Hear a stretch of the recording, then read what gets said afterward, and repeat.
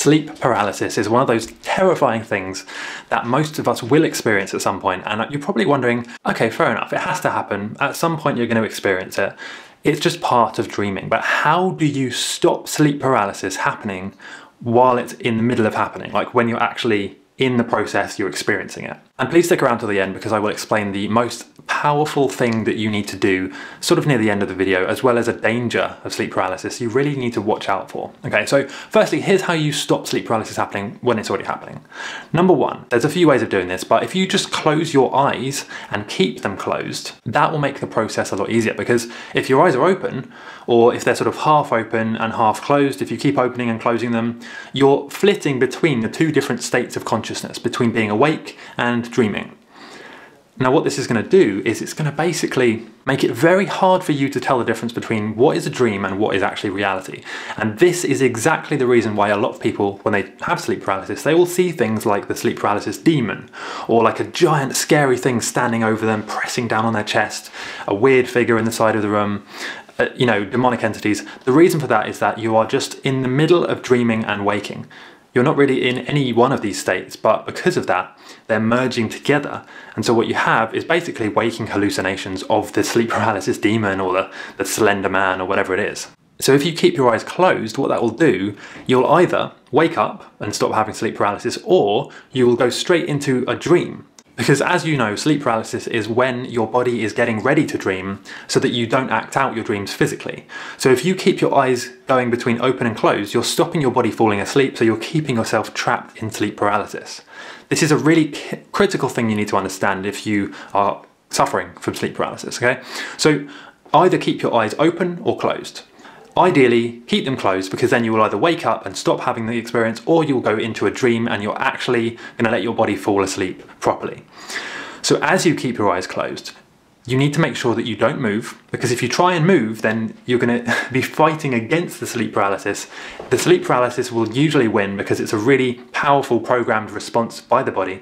So if you try and fight against that, it's probably not going to work it's probably not going to work. Okay, this is like thousands of years of evolution and biology that have been refined down into this exciting, useful skill that we have to stop our bodies acting out our dreams.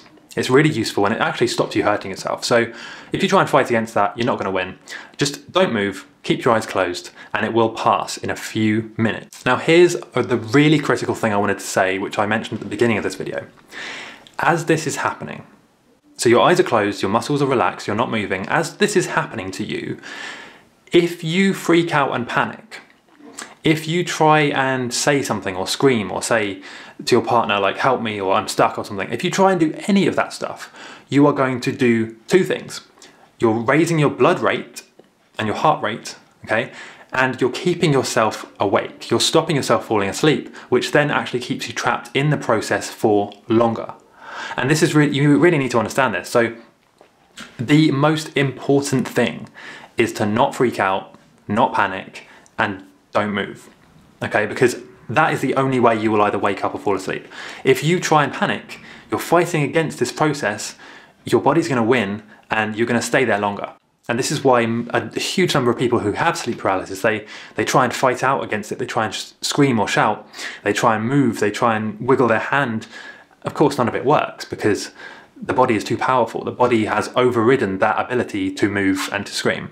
If you keep experiencing sleep paralysis and you just don't know how to get rid of it, I do have a section in the Lucid Dreaming Bootcamp which does explain how to avoid it and some detailed ways of sort of hacking your mind to make sure it doesn't happen, and that is linked in the description. But beyond that, if you wanted to just get more sleep paralysis tips, lucid dreaming tips, I do have lots of videos on my channel, so please go and check them out. And I want you to comment letting me know what the scariest thing you can imagine would be in sleep paralysis. What is the scariest thing? And you need to remember, okay, this is all in your mind. Nothing in sleep paralysis or in a dream or in a nightmare can harm you because it's all created by your own subconscious mind. You're creating it and experiencing it at the same time.